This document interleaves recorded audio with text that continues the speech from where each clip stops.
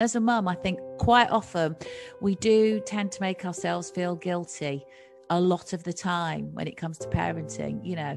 Oh i didn't you know i haven't given enough of my time. I've been too busy. You know i'm a working mum. it's awful. I shouldn't really be a working mum. i should just be one or the other.